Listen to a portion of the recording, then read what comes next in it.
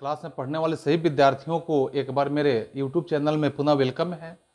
जैसे हम लोग इसके पीछे के सीरीज़ में अध्ययन किए हुए हैं, जिस सीरीज़ के माध्यम से हम लोग प्रेजेंट टेंस के बारे में देखे थे, आज हम लोग यहाँ पास्ट टेंस के जो चार प्रकार है, इस चारों प्रकार के बारे में हम बारी बारी से अलग अलग सीरीज़ के माध्यम से अध्ययन करेंगे और इसमें हम पाएँगे कि जैसे पास्ट टेंस में आपके चार सीरीज़ कौन कौन से हैं, जिसमें सबसे पहला यहाँ का यानी कि आपके नियम का पांचवा जो रूल है यानी पांचवा रूल के रूप में हम देखेंगे कि पास्ट इंडिफिनिट टेंस का ट्रांसलेशन बनाने का नियम।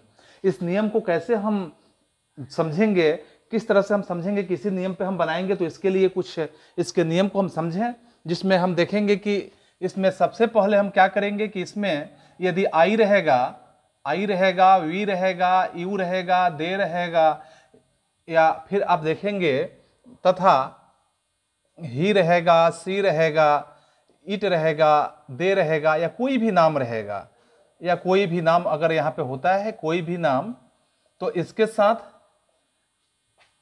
तो इसके मुख्य क्रिया में सिर्फ़ हमें क्या करना है?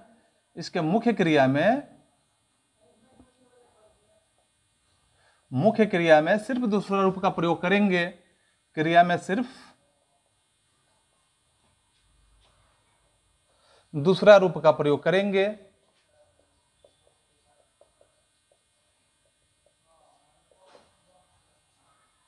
किया जाएगा।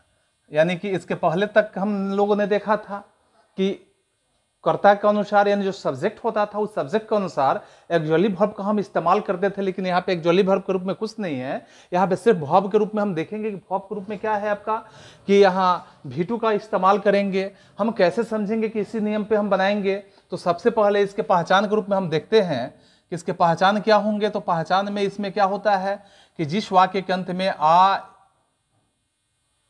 ए, ई अगर आता है, आ, ए, ई वो आता है तो समझिए कि आप इसी नियम पे उसको बनाएँगे, उसी नियम पे ट्रांसलेट करेंगे।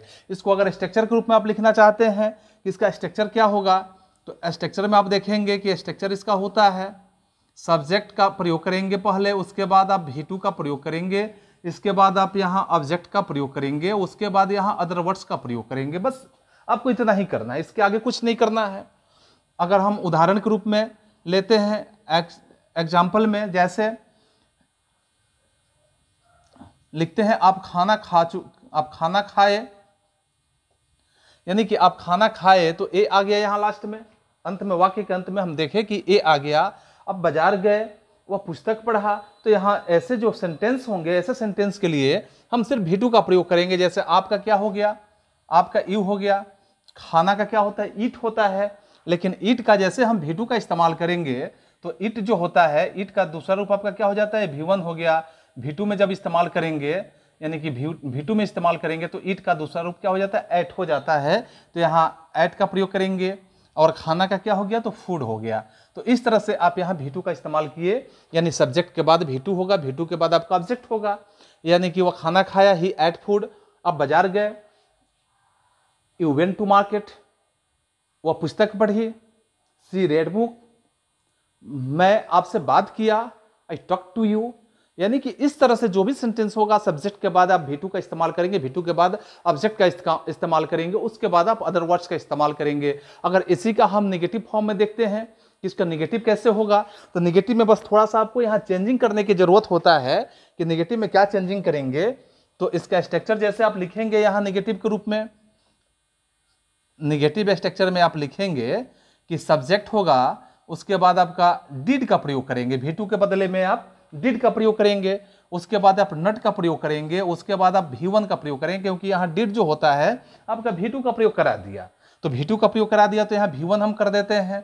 इसके बाद आपका ऑब्जेक्ट हो जाता है, उसके बाद आपका अदर वर्ड्स हो जाता है। जैसे अगर हम एग्ज़ाम्पल में देते हैं, कि इसी को अगर लेते हैं, चाहे हम दूसरा लेते हैं, वह बाज़ार गई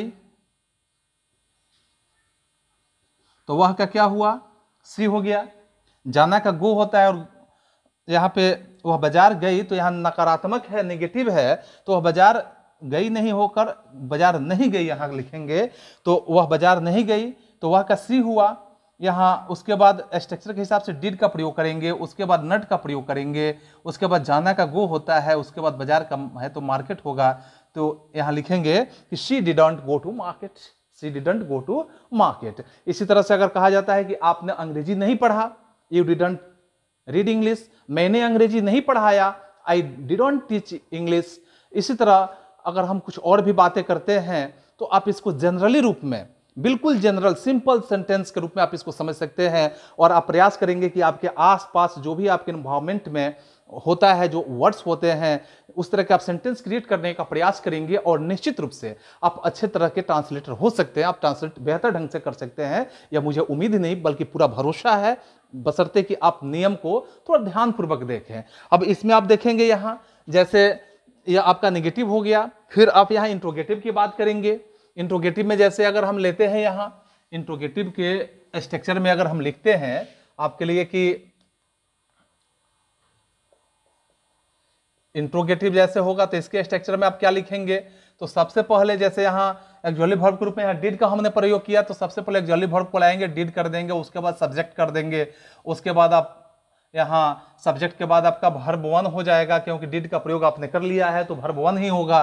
इसके बाद आपका ऑब्जेक्ट हो जाएगा, उसके बाद आपका अदर वर्ड्स हो जाएगा। लेकिन जैसे इंट्रोगेटिव होता है तो लास्ट में आपका नोट ऑफ़ इंट्रोगेशन मार्क्स होना नेसेसरी होता है। तो इस तरह से note of interrogation marks last में हो गया। इसी पे अगर सेंटेंस दिया जाता है कि क्या आप पुस्तक खरीदे नोट ऑफ़ इंट्रोगेशन मार्क क्या आप पुस्तक खरीदे तो यहाँ आप है या कोई भी कोई भी सब्जेक्ट होगा तो सबसे पहले हम डिड का प्रयोग करेंगे। उसके बाद आपका यू हो जाएगा। उसके बाद भर्ब है तो भर्ब में खरीदना का क्या होता है? बाई हो जाता है। इसके बाद अदर वर्ड्स में क्या है? यानी ऑब्जेक्ट हो जाएगा तो ऑब्जेक्ट में आपका क्या है? पुस्तक है तो पुस्तक आपका बुक हो गया और उसके बाद अदर वर्ड्स में कुछ नहीं है। लास्ट में नोट ऑफ़ इंट्रोगेशन मार्क्स है तो इसका इस्तेमाल हमने किया। तो इस तरह अगर हम कहते हैं कि क्या मैंने कलम से लिखा?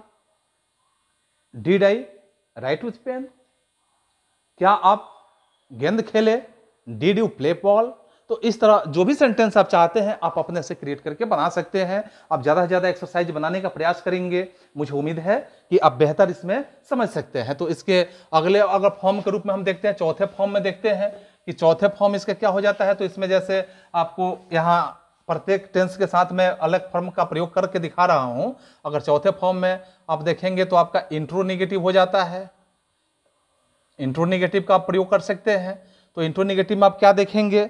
कि इंट्रो निगेटिव में जैसे आपका होता है कि डिड का प्रयोग तो पहले करेंगे ही, उसके बाद सब्जेक्ट का प्रयोग करेंगे, उसके बाद आप यहाँ नट का प्रयोग करेंगे, क्योंकि intro negative interrogative plus negative आपका हो गया नट का प्रयोग होगा इंट्रोगेटिव का ही प्रयोग होगा, इसके बाद आपका भर्ब वन ही होगा, उसके बाद आपका ऑब्जेक्ट हो गया, और उसके बाद आपका अदर वर्ड्स हो जाता है, और लास्ट में इंट्रो है तो यहाँ इंट्रोगेशन मार्क्स आपका होगा, ये निश्चित है। तो इस तरह इंट्रोगेशन मार्क्स हुआ लास्ट में।